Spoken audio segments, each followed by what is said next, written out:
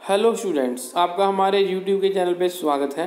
State bank of India की तरफ़ से जो रिक्रूटमेंट नोटिस निकला था, जो स्पेशल कैडर ऑफिसर का था, जो कॉन्ट्रेक्चुअल बेसिस पे उसकी जो अप्लाई करने की आखिरी तारीख कल है और जो पेमेंट फ़ीस की भी कल आखिरी तारीख है, तेरह सात दो हज़ार बाईस तो टाइम बहुत कम है। ये वीडियो उन स्टूडेंट्स के लिए है, अगर जिन्होंने जो अप्लाई करना चाहते हैं, अभी तक नहीं किया है, या कई बार कैंडिडेट सोचते हैं, अभी भर देंगे, बहुत टाइम पड़ा है तो इसके रिगार्डिंग वो टाइम निकल जाता है सोचते सोचते और डेट जो होती है फाइनल निकल जाती है।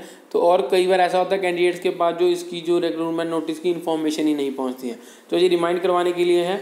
तो सबसे पहले देखिए ताकि जो भी फॉर्म भरना चाहे तो भर सके, क्योंकि टाइम बहुत कम है, कल का दिन है इसका आखिरी। तो फ़र्स्ट सबसे पहले देखिए, इसमें जो फर्दर इंस्ट्रक्शंस दी गई हैं आपको, और उसके बाद नेक्स्ट है जो आपका सीरियल नंबर जो आपको सारा बताया हुआ साथ में सीरियल नंबर है, जो पोस्ट है, जो इक्विपमेंट ग्रेड जो स्केल है नेचर ऑफ़ जो एंगेजमेंट है, जिस जिसमें है आपका जो कॉन्ट्रेक्चुअल है, ये आपकी सारी जहाँ तक कैटेगरी वाइज जिस जिसमें जैसे पोस्ट है, जैसे जो इधर पोस्ट नेम है, उसके बाद आगे आपके पास एज इन ईयर्स जो एज ऑज ऑन जो कट ऑफ़ डेट्स ये सारा फर्दर है। उसके बाद जो है जो आपका एक्सपीरियंस है ऑन कट ऑफ़ उसके बाद सिलेक्शन प्रोसेस उसके बाद जो है पोस्टिंग ऑफ़ जो आपकी पोस्ट ऑफ़ पोस्टिंग उसके बाद आता है आपका प्लेस ऑफ़ पोस्टिंग इसमें जो है आपका सारे फर्दर दिए गए हैं, जैसे न्यू दिल्ली हो गया।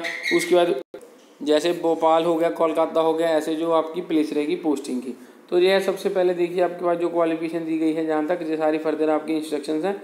और उसके बाद देखिए आपके पास सबसे पहले जो डिफेंस बैंकिंग एडवाइज़र नेवी इसकी सारी इंस्ट्रक्शंस हैं। उसके बाद जो है आपका, जैसे आपने जो डॉक्यूमेंट्स अपलोड करने हैं, ये आपका इमेज के रिगार्डिंग हो गया।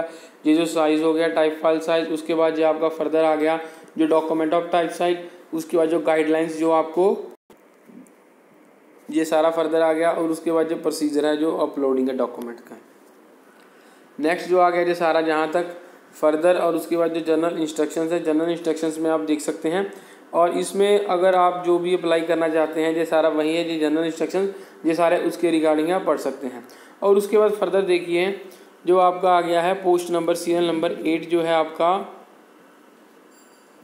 इंटरनल ओबस्टमैन तो इसमें क्या है?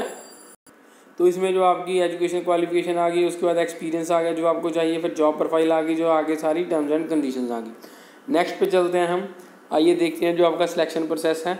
इसमें क्या रहेगा आपका शॉर्ट कमिंग लिस्टिंग जो इंट्रैक्शन के लिए और उसके बाद फर्दर जो आपका इंटरव्यू है, फिर शॉर्ट लिस्टिंग है। आगे जो फर्दर है आपकी मेरिट लिस्ट के रिगार्डिंग सारा फर्दर है, कैसे आपने अप्लाई करना है, वही सारा जो गाइडलाइंस उसके बाद जो है पेमेंट्स ऑफ़ फ़ीस के रिगार्डिंग फर्दर चलते हैं हम। नेक्स्ट देखिए जो आपका पोस्ट चार है, जो आपकी डिफेंस बैंकिंग एडवाइज़र है तो ये सारा उसका है, उसके रिगार्डिंग है, जो सारी इंस्ट्रक्शन दी गई हैं।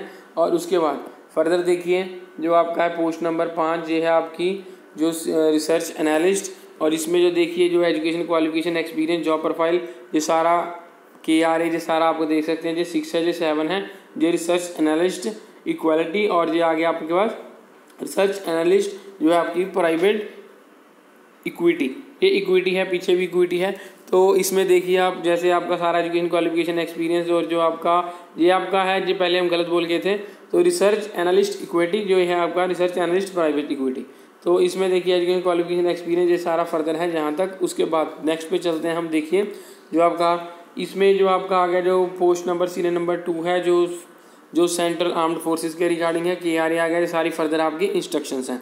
और उसके बाद अगर आप इसका डिटेल नोटिफिकेशन जो आपका आ गया सीरियल नंबर जो आपका पोस्ट पोस्ट के लिए जो आपका है circle advisor centre arm forces ये सारा फर्दर उसके रिगार्डिंग है। तो आप पढ़ सकते हैं, जिसमें भी आप अप्लाई करना चाहें, अगर जिस, आप, जिसकी आपकी एलिजिबिलिटी क्वालिफिकेशन एक्सपीरियंस जो भी है आपका, अगर आप सब कुछ आपका इस हिसाब से है तो अगर बनना चाहें तो आप भर सकते हैं, उसका हम नीचे लिंक डाल देंगे।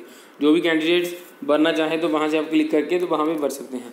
तो हमने ये शॉर्ट नोटिस बनाया था, ताकि स्टूडेंट्स को रिमाइंड कैंडिडेट्स को रिमाइंड हो जाए ताकि जो भी अप्लाई करना चाहें टाइम बहुत कम है, जो कल का दिन है, इसका आखिरी तो वो फिल कर सकें।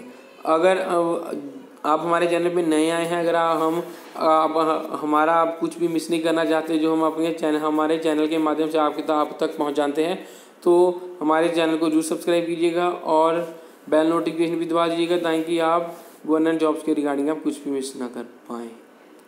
Thank you